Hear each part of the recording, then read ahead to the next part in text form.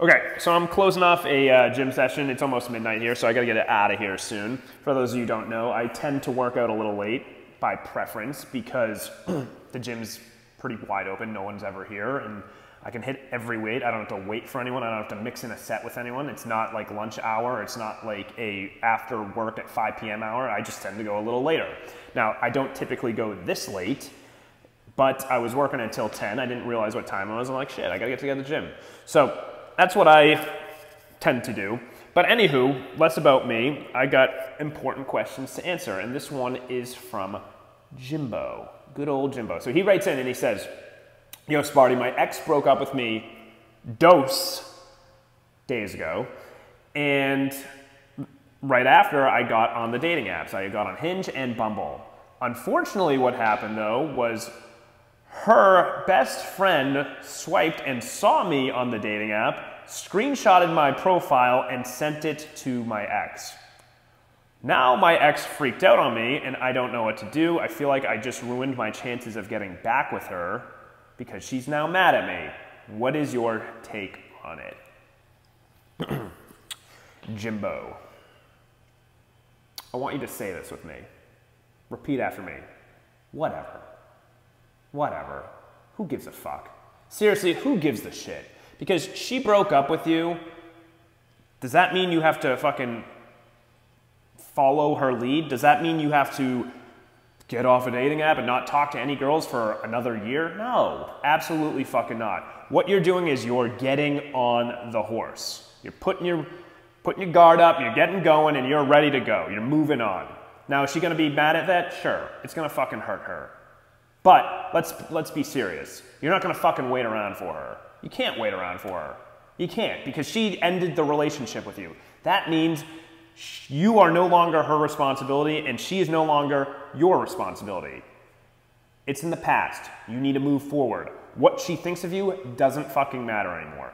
Remember, she broke up with you. She ended it with you. She gave up on the relationship. She stopped putting in the effort. She said, I don't want to do this anymore.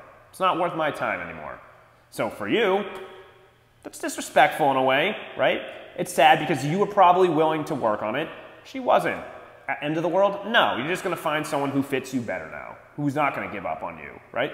So that's what you should do. Now, I'm, again, I'm not saying you're going to find someone in a month or two, right? It's going to take you some time to heal. But putting yourself out there is exactly what you have to fucking do. And is it to hurt her? Sure. Is she to get on the apps and, and talk to new guys? Probably. Yeah, it's to happen, right? But Again, you can't hold your life up for her. You just can't. So that's how I would what I would say to that. Secondly, okay? Second thing. I don't want you on the dating apps. I don't want you actively on the dating apps. And I'm not saying you can't practice and banter with a girl. Like it's a good way to like, you know, tone up your game and flirt a little bit and just, you know, shoot the shit, whatever, but they're not going to really work out in your benefit. I want you to be so fucking good in person where you're not checking those apps, that you don't need to check the apps, right? So, what that says is when you're out in person and you are talking with girls, right, and you have a social circle and these girls are flocking to you, right? Other girls are gonna notice that and think, what's so interesting about him? He's different. Most girls don't surround guys. What's going on, right? So for you, you're setting yourself up in a way that you are the most attractive version of yourself. Girls see that, and girls cannot help but to feel attraction to something that everyone else wants. You're pre-selected. It is one of the truest statements. Girls want, and it goes, it's within the animals kingdom, right? If you have 10 goldfish in the sea, right? 10 female goldfish, right? And there's 10 male goldfish, and four of them are around one male goldfish, the others are to find it that goldfish attractive. It's the same with you. So if you're so good in person, other girls will see that and be like, oh shit, he is a fucking, what is it about him? What it says is you're safe, you're fun to be around, you're cool, and it makes them more attracted to you. And you know who else finds attraction when girls are surrounded by you and interested with you? Your ex, right? So again, it's, is, is she mad? Sure. Sure, she's not happy with it. But you know what's going on? She also respects you, right? You're not waiting around. You're not like every fucking guy that emails me who's begging for her, texting her to get back with her, or calling her. What can I do? What can I do to fix it? No, you don't want to be that guy, right? If she wants to fix it, if she has, if she thinks there's something there, she can reach out to you and you can fix it. But you're not going to fucking beg for someone who said no to you. No, come on, have some fucking self-respect, and that's what you're fucking doing. You self-respect yourself. So put yourself out there. I want you to go to gatherings. I want you to go to socials. I want you to go to beach parties. I want you to go to clubs. I want you to do intramural sports. I want you to I don't know, join a softball league or kickball league, right? I want you to go to bachata class or salsa dancing. I want you to put yourself out there where you have the opportunity to meet girls or even other guys, right? And become friends with other guys because you don't know who knows who, right? Because they can introduce you to new people, new girls. And what happens when you become friends with more girls? When you're friends with more girls, they're gonna bring their friends around, right?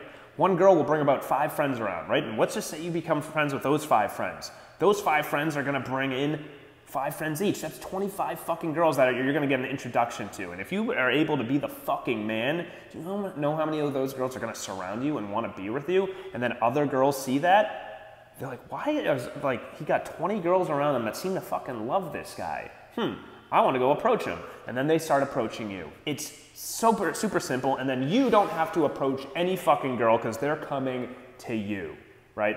So do that. But definitely practice with the dating apps, banter, banter, banter, but don't necessarily feel obligated to, you know, let your confidence get affected by it. Because the truth is about the dating apps, each girl gets like a thousand fucking likes. They get like 50 messages a day. Your message isn't really realistically going to be seen by most of them, right? So a lot of the guys that I coach, they get really, really in their head because the girls aren't responding to the dating apps, right? And um, it's just not really, it's, it's not a healthy way to approach it. Be better in person. The results are significantly better. Plus, the girls are cooler. You kind of run the risk. Uh, the dating apps, you know, everyone's guards up. You don't know who's who. It's like, I don't really know this person. It's awkward meeting someone. You just, just be better in person. That's what I gotta say about it. And don't be fucking affected by the ex. Don't. Whatever. Who gives a fuck? She'll get over it, you'll get over it, and if she really wants to make things work out, she'll get in touch with you, and she probably will get in touch with you. So don't feel threatened or sad. Peace.